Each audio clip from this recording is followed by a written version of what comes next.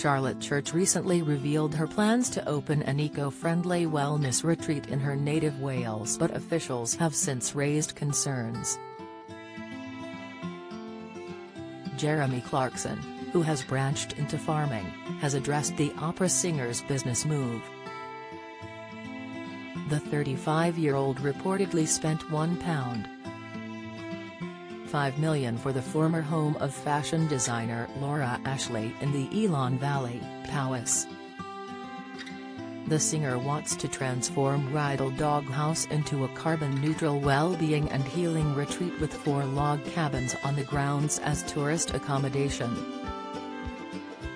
But highway officials have objected to the application due to concerns about the suitability of access to the retreat from a narrow country lane. They also raised concerns about the volume of traffic as a result of the retreat. Writing in his latest column, Jeremy said the idea of a wellness retreat is ghastly but defended the opera singer. The Clarkson's farm star suggested that the mum of three was not exactly building a Las Vegas hotel. He began, Charlotte, Church, who is famous for doing something or other, is trying to turn her seven-bedroom house into a wellness retreat, where guests can sit under trees while humming and swim in a nearby river. It all sounds too ghastly for words. Jeremy offered his best wishes to the singer and entrepreneur but claimed that her application may take some time to be approved by the council. Sadly, however, her local council does not share these views and says her plans will increase traffic on nearby country roads, he continued to The Sun. Really? There are only seven bedrooms, so it's not like she's building a replica of the MGM Grand in Las Vegas.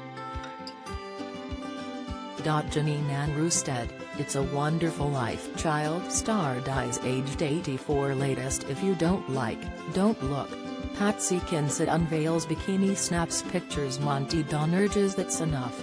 As issue arises in unseen GW clip video, he added, and what's more, the sort of people who want to spend their holiday time at a wellness retreat in Wales will probably walk there anyway.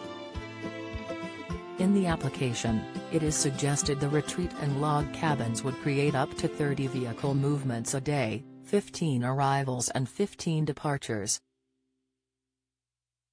But council officers disputed this, claiming actual traffic volume would be significantly higher, and said proposed new passing places for vehicles were unsuitable.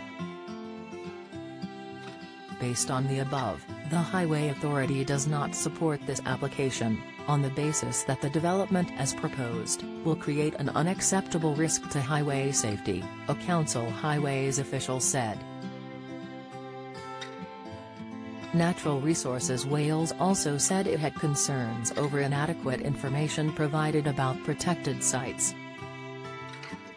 If the retreat does receive planning permission to go ahead, it will provide accommodation for a maximum of 17 guests.